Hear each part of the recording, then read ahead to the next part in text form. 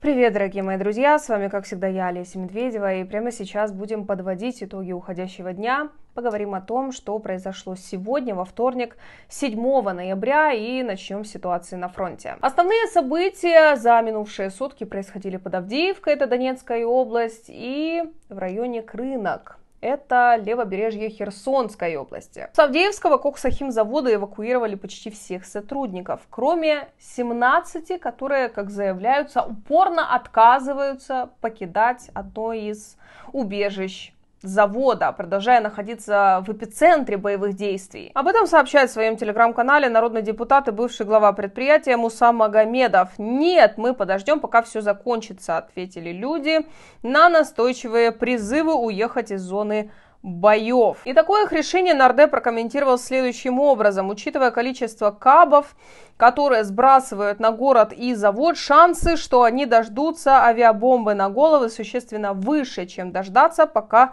все закончится. Он также говорит, что убедить людей эвакуироваться еще попытаются сотрудники полиции и отряды эвакуаторов «Белые ангелы».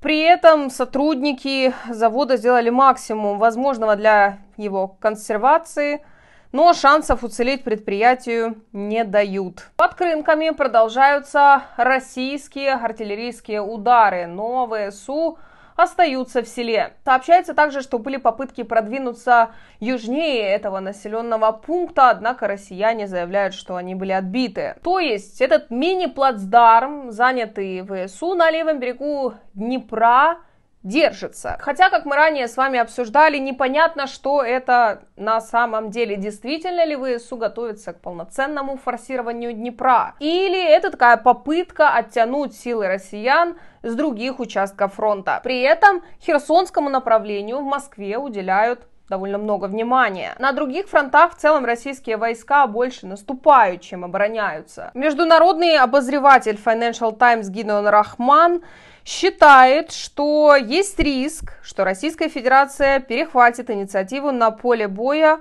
в Украине в следующем году. Зеленский гневно отверг идею о том, что война заходит в тупик, но прогнозы о тупиковой ситуации на самом деле могут оказаться чрезмерно оптимистичными. Для Украины Россия превратилась в военную экономику и, вероятно, в следующем году будет иметь растущие преимущества в вооружениях и численности войск. В ближайшие месяцы российские войска, скорее всего, снова нанесут удары по украинским городам и инфраструктуре. У Владимира Путина есть еще больше причин продолжать упорную борьбу в следующем году, учитывая растущую перспективу того, что Дональд Трамп вернется в Белый дом и бросит Украину на произвол судьбы. Он также пишет, что процессы в разных частях мира стали взаимосвязаны. Война в Израиле сместила акцент с Украины и сделала их конкурентами за оружие. Поддержка Украины странами глобального юга снизилась, когда Запад остался на стороне Израиля после начала авиаударов по сектору Газа. Война в Израиле делает более вероятным избрание Трампа президентом, поскольку меньше молодых избирателей прогрессистов и американцев арабского происхождения проголосуют за Байдена.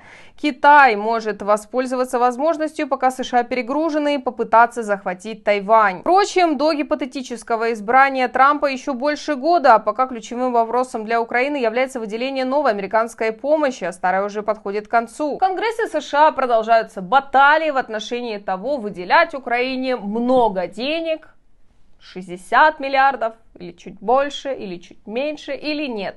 Сегодня Wall Street Journal пишет, что группа республиканцев в Сенате предложила, чтобы Белый дом сперва профинансировал борьбу с незаконными мигрантами в качестве условия для продолжения выделения помощи Украине. Они требуют ужесточения требований о предоставлении убежища на южной границе с Мексикой. Издание считает, что это является первым шагом в том, что, как ожидается, станет мучительной борьбой за одобрение пакета, имеется в виду помощи Киеву. Но это что касается Сената, а вот Нижняя палата Конгресса, там вообще ничего не предлагали пока по Украине и касательно выделения помощи никакой новой информации. Пока ее только убирают из всех законопроектов, которые подает Белый дом. Один из основных аргументов республиканцев это неопределенность планов Байдена в отношении Украины. Конечно, есть еще важный момент, что в Америке выборы, и республиканцы тоже говорят, что сначала внутренняя повестка, внутренние проблемы и их финансирование, а потом уже куда-то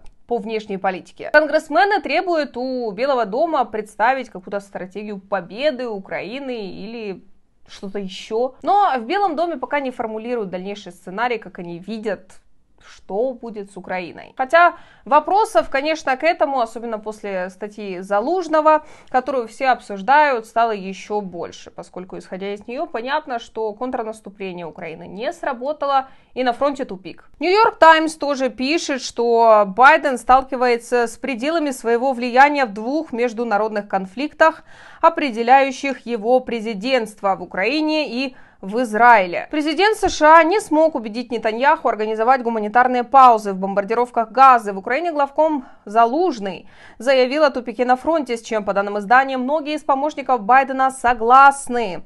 Нью-Йорк Таймс пишет, но они опасаются, что откровенность генерала Залужного затруднит выполнение задачи убедить республиканцев проголосовать за увеличение финансирования войны и поможет побудить Путина наращивать усилия, надеясь, что бывший президент Дональд Трамп или республиканец с аналогичными взглядами будет избран в следующем году и откажется от американской поддержки. Украины имеется в виду. Издание также сообщает, что президент США вынужден сдерживать усталость и недовольство ходом боевых действий в Украине, появившиеся из-за ощущения того, что миллиарды долларов американской помощи были потрачены напрасно. И хотя американское оружие и разведка играют центральную роль в обеих войнах, Байден живет с реальностью, согласно которой военные решения должны приниматься в Израиле и Украине, а не в Соединенных Штатах. И это, как пишет Нью-Йорк Таймс часто ставит Вашингтон в странное положение. Он может предложить методы разрушения огромной сети тоннелей в секторе Газа или прорыва через российские оборонительные линии, но дистанцируется от решений и их последствий. И в качестве примера приводится ситуация, что когда американцы настоятельно рекомендовали украинцам сконцентрироваться на одном направлении, то есть на запорожском, и не распыляться, например, на направление Бахмутское, то украинцы их не послушали и делали как хотели. Также пишет, что Байден обеспокоен тем, что дальнобойные ракеты «Атакмс», которые американцы передали Украине, существенно не повлияют на ситуацию на фронте. В общем, такая информация к вашему размышлению, дорогие мои друзья. На этом у меня пока все. С вами была, как всегда, я, Олеся Медведева. Не забывайте подписываться на наши каналы в Ютубе, Страна Юэй, Ясно, Понятно и Медведева Про. Там очень скоро будет много интересных видео, а в сообществе там много полезной информации, кстати. До скорых встреч, пока!